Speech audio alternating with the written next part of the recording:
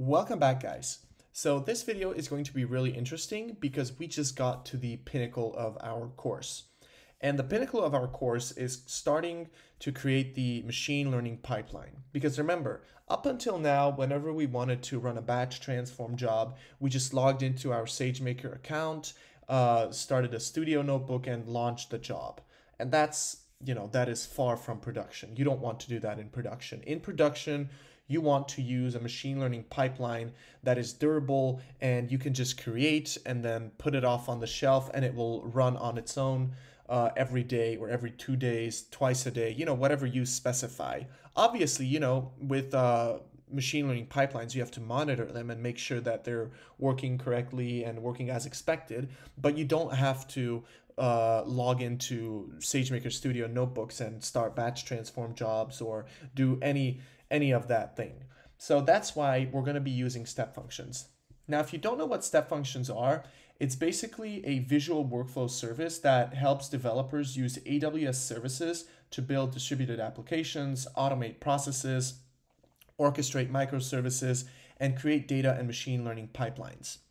Now, uh, I could compare uh, step functions with Airflow or Kubeflow. You know, they're both orchestration tools, but they're different. Airflow is uh, is, is a little different. Kubeflow is a little different. So each of each of these uh, orchestration tools has its own uh, caveats. Uh, but you know, just so you get the idea, it's basically a pipeline that you're going to be able to visually see and uh, create it for yourself. And in AWS, they're basically, in my opinion, two preferred way of creating machine learning pipelines. And one of them is through step functions, and the other one is through SageMaker pipelines. However, I do believe that with step functions, uh, it's easier to integrate other AWS services in like Lambda functions and you know all other services. You can still do that with uh, SageMaker pipelines and SageMaker components, but I don't think it's as smooth. So I think this is the uh, best possible way, which is why I'm showing you guys this way. And you know, some of you might prefer SageMaker pipelines. Uh, again, you know, it's whatever you uh, desire, but I do believe that step functions is more convenient and it's more easy to configure and you just basically have a better oversight of what's happening. So let's go to step functions. As you can see, it's a coordinate distributed applications, which is the uh, description. So click on it.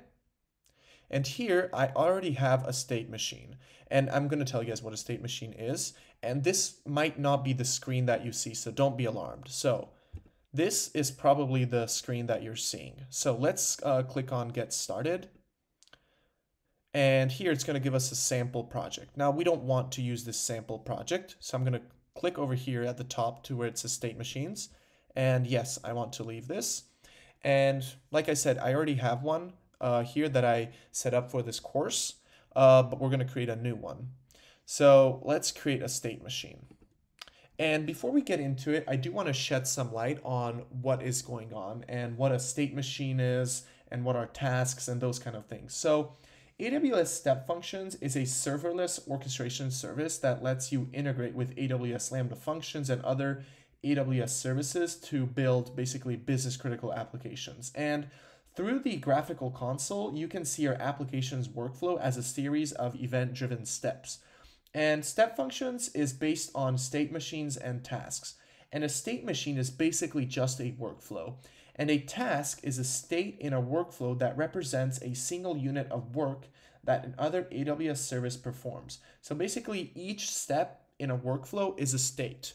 And there are three ways you can create uh, your step functions. One is you can design it through your workflow visually. One is you can write your code from uh, you know, scratch basically. And the other one is run a sample project. And by sample project, uh, that's what we're going to be doing because the team behind this, the AWS team, did a really good job of creating several of these templates that you can use uh, afterwards and basically change it to your ideal and specific use cases. However, you don't have to, you know, create the whole thing from scratch. And now don't do what I'm doing uh, right now because this is just for demonstration. Because like I said, we're going to create it through a sample project. But right now, I want to show you guys how you can even do this visually. So like I said, just watch and don't do what I'm doing right now because this is not what we're going to be doing. So I can come over here to design your workflow visually, go to next, and as you can see, this is how you can design your workflow visually. So I'm going to say here's the start and here is a state and here's the end. So I can drag in a Lambda function over here. Obviously, you have to specify the name, the inputs, outputs, error handling, so a lot of configuration. However, you can choose um, what to uh, what to do next. So as you can see, the next state, I can go to add a new state. And then I can search all of these AWS services. There's a bunch of AWS services. Uh, as you can see, we have SageMaker, we have Create App, uh, Create Context. We have a bunch of things. However, I just want to add another uh, Lambda function over here. And then I'm going to click on that Lambda function and I can, uh, over here on the left, I can go to flow and I can basically add a choice here. So actually first I have to click on this and the next state, I'm going to say add a new state and then I'm going to add a choice here. So basically that means depending on the output of the lambda function, uh, we can have two states. And then you can do immensely uh, complicated pipelines. I can drop in a success here. Um, I can drop in a fail here. So, and you can create these really intricate pipelines. Uh, and actually what we're going to be doing is, like I said, we're going to use a pre-built pipeline and configure it to our needs. However, we're also going to be able to visualize it. Um, but I just don't like to create something by just clicking and dragging because, uh, you know, obviously that's the future of programming, I guess, is you just uh, drag and drop things but i think it's it's better to understand what's going on behind the the scene so that's why i'm going to show you guys that. So i'm going to click on the back arrow and i'm going to go to run a sample project. And as you can see here are a bunch of sample projects and i'm going to go to the job poller and this is manage an asynchronous job using a serverless polling loop aws lambda and aws batch. So the reason we're using this is because uh, our workflow is going to consist of starting an AWS batch transformation job, and we have to basically check to see if that job is finished. And if the job is finished, then we can save the results to S3. However, we somehow have to know if the job is finished. So that's going to be asynchronous, right? Because we can't go on to the next step, which is, you know, creating a Lambda function that saves the results to an S3 bucket unless we know uh, when the batch transformation job is complete. So that's why we have to use the asynchronous job using the serverless uh, polling loop. And these are the technologies uh, that are basically in this uh, sample project is AWS Lambda and AWS Batch. And you're going to see that it's uh, actually quite complicated process, uh, but it's we're going to talk it over and it's going to be really simple. Um, so click on Job Poller over here, come over here down, and this is going to be our project. And so as you can see, it's going to start. It's going to submit the job to the batch transform job. We're going to wait. We can specify how much time uh, we should wait. And, you know, we could wait like 10 minutes. And after 10 minutes, we run a Lambda function. So this get job status is going to be a Lambda function. And that Lambda function is going to see if the batch transform job has finished or not. So it's going to uh, see, and if it did finish, it's going to get the final job stat status, and we're going to save it to S3. If it did not finish, uh, you know, there's going to be a fail option. Uh, but if it's not complete, then it's going to go back over here and wait, uh, you know, 10 more minutes. After the 10 minutes has elapsed, it's going to get the status again.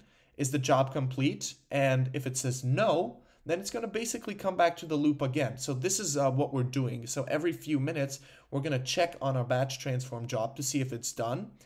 Now, get the job status. Is it complete? and we have two options whether it's complete and it succeeded or if it's complete and failed. and then we can go to the end process. Now we can uh, actually add additional things to this work workflow, and that's what we're going to be doing. So our workflow is going to look a little bit more uh, complex than this, but as you can see, here is the uh, file. It's a JSON file that we can manipulate. So here is the title, here is the Lambda function that's going to run to submit the job, and we're going to create the Lambda function. We're going to create the get a job status Lambda function, and we're going to create a Lambda function that is going to do the final check and whether save the results to S3 or not. And we're just going to have to put in the ARN of those Lambda functions. So where those Lambda functions are in the Lambda function names.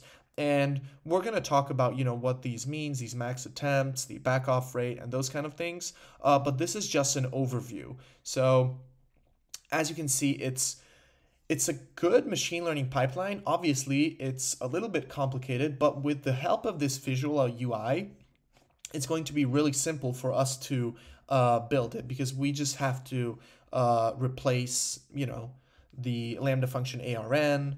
We can, you know, change this to whatever we want to, the name. We can change how much it should wait.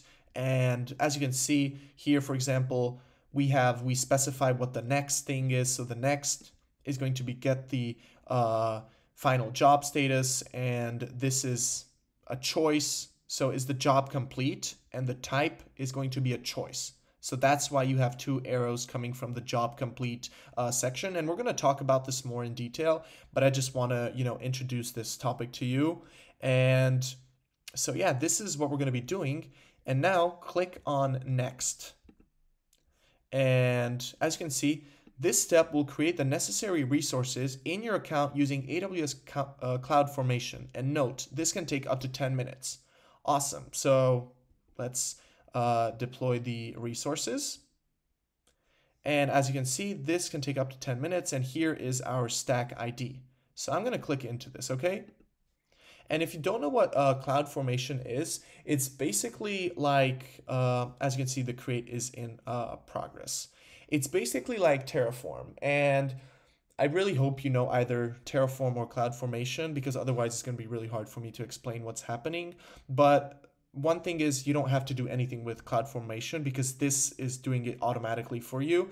But basically it just creates these resources for you. So it's going to create the Lambda functions. And obviously it's not a final Lambda function, right? Because we're going to have to uh, edit those Lambda functions with our own custom code. But it's going to create the Lambda function so we don't have to manually uh, create it. And it's going to, you know, create the the the other services that we're going to be using and we're going to talk this over in detail in the next video and see that you know what cloud formation has created for us. And so it's going to be really exciting and i'm going to wait until this process is finished and once it is finished uh, i will get back to you guys